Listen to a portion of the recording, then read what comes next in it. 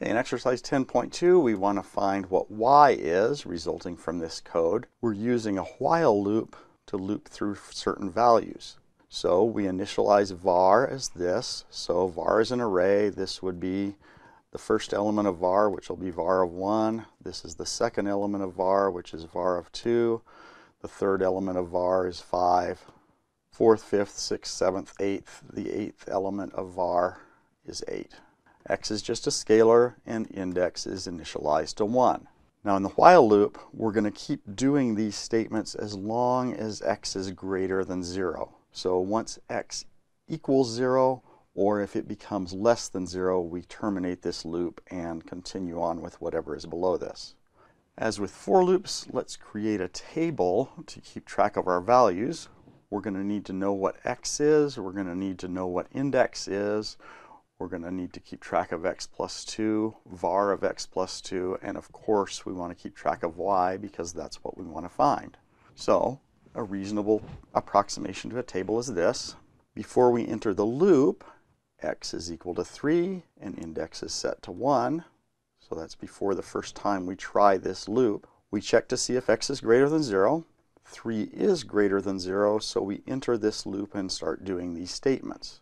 Now inside this statement, we need to keep track of index, which is 1, x, which is still 3, it hasn't been changed yet, var of x plus 2, x plus 2 is going to be equal to 5, so var of 5, this is the first, second, third, fourth, fifth element of var.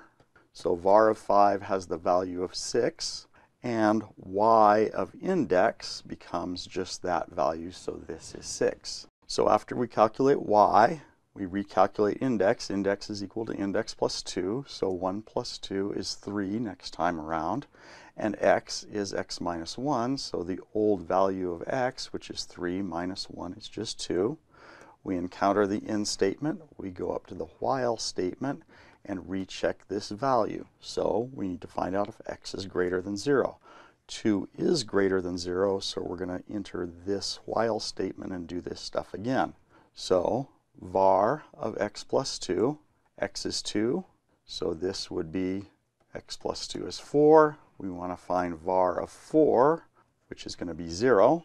So y of index is equal to that value, which is just 0. After that, index is equal to index plus 2, so this becomes 5. And x is equal to x minus 1. The old value of x is 2. 2 minus 1 is 1. We encounter the end statement. We check to see if x is greater than 0. 1 is greater than 0, so we'll do this set of calculations again. x plus 2 is going to be 1 plus 2, which is 3. So when this is 3, the third element of var is 5 and that value is just assigned to y of index. So now index is equal to index plus 2. 5 plus 2 is 7. x is equal to x minus 1. 1 minus 1 is 0. We hit the end statement. We go up. We check the while loop. Is x greater than 0? No, 0 is not greater than itself, so we terminate the while loop and continue with the next thing we want to do. And then we set y of 2 is equal to negative 6. Now in this case, we're creating an array. We've identified an array subscript index and we're creating elements that are associated with index. So when we get out of this, we're going to have an array y. The first index has the value 6.